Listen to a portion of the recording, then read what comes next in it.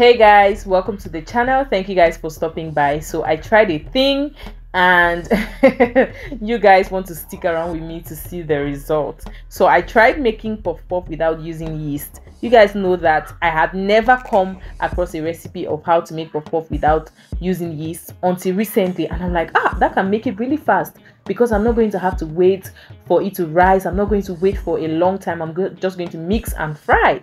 So your girl said that she was going to go into the kitchen today and try to make puff puff without yeast and it was a whole situation. I created something. In fact, I made something. Just keep watching.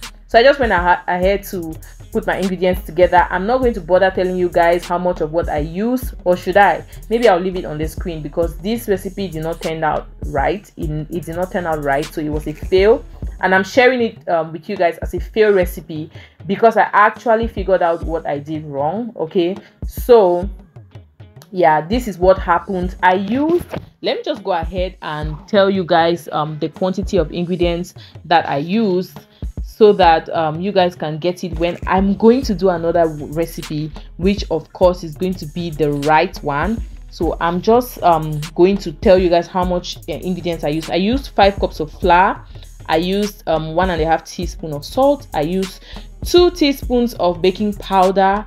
I used um, some sprinkles of nutmeg water I used two and a half cups and then sugar I use one third cup or 8.5 uh, mils. Now the problem I believe with this particular puff puff was that my baking powder was not enough. And then um, when I started frying it, I realized that the butter was so heavy. So even as I was mixing, I could tell that the batter was so heavy.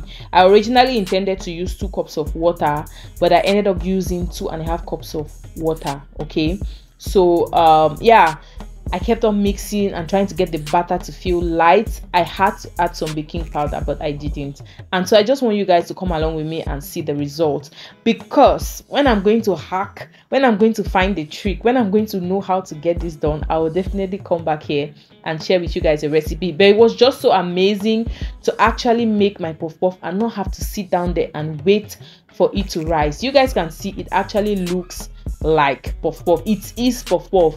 The only difference i could say was there's a smell that you get um when you mix puff puff and you cover it to rice. There's a smell that you get the house just starts feeling puff puffy. I didn't get that with um when i made this. I don't know if it has to do with the fact that they, there was no yeast. I really cannot tell, but I'm going to try it again.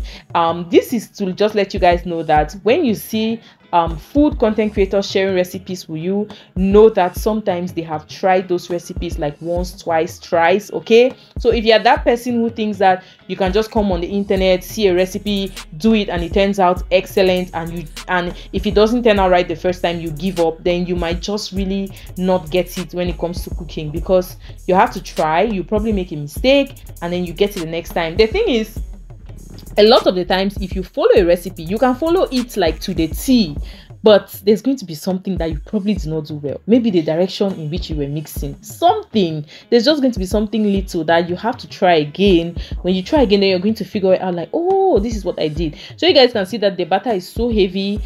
Normally when you're frying puff puff as you drop it in the oil it's supposed to rise. I think maybe my water was too little of course i can tell that it's not like my oil is not hot. You can see that my oil is hot. The oil was even too hot. So you can see that it took a little while for my puff puffs to start coming up. That's because the batter was really heavy.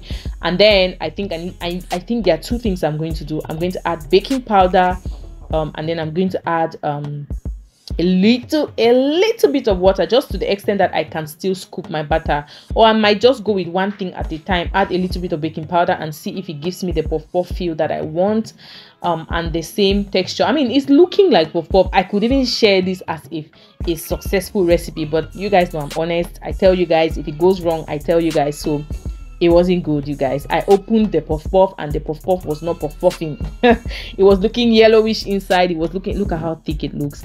You know when you open your puff puff it has to be white. Like why is it yellow? That's something i still could not understand because i didn't put anything that made it to have that. It's not really yellow. It's looking brownish it has one funny color. Anyways thank you guys for watching this video. I hope my honesty would make you go ahead and try some recipes on this channel.